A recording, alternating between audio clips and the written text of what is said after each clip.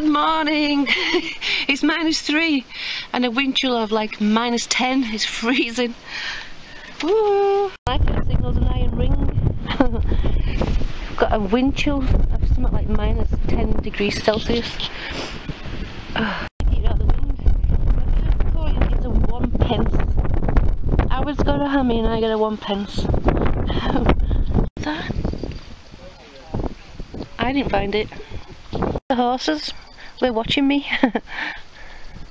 nice Shetland there, little pony. Right, back at home now.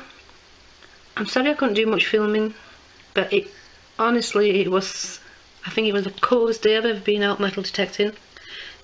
It was just too cold to take your gloves off with the minus chill factor, and it was windy anyway. So here's what I got. Yeah, I'm filming at night, no proper lighting. In 1918, George Penny.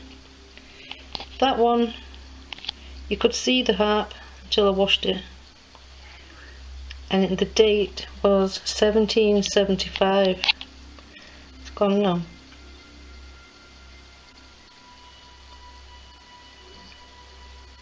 George III, half penny. Hibernian type. There's not much on the other side either, just where it said George.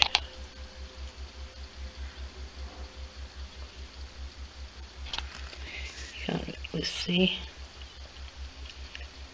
But yeah, you could see the date before I washed it. Two modern pennies. It's 1977, I don't know what the other one is.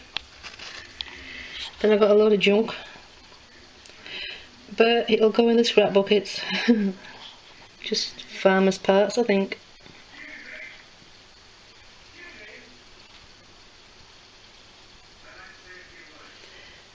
That's like a big, it's a big piece of lead and I'm not sure. It looks like a window ledge catch, maybe.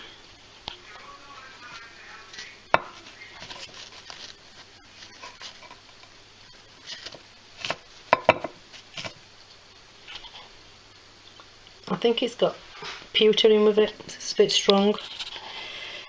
I got some musket balls, I think that's a musket ball inside the iron. That's a pin off a buckle, you can just see the hole, maybe.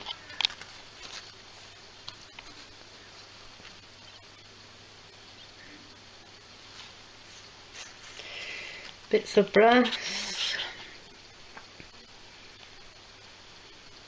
Lead. I thought that might have been silver, but it's not. So anyway, I still enjoyed it. Had a nice day out, even if it was freezing. Apparently they're calling it the beast from the east. We're going to get snow all week and minus temperatures. But hopefully it's going to clear up by the next Sunday. I hope so. So thanks for watching, commenting and subscribing. Sorry it's not a very good video today. But I'm sure you're all experiencing this weather. so thanks for watching. Best wishes everybody. Bye for now. Bye.